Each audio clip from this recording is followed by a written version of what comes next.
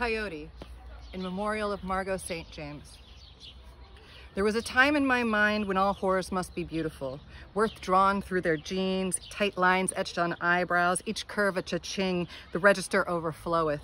Margo, your name is a box organized with tools, your smile a beacon, straightforward for destruction, concrete for building, the future how your pain shines through your laugh.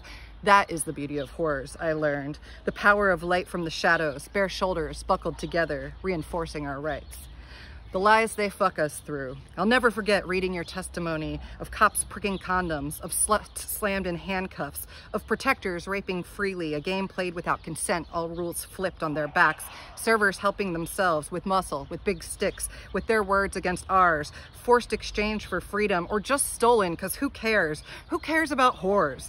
Who in this world cares about these horrors? Who cares for the lives and the souls and the loves and the kids and the bodies and the minds and of all these damned horrors?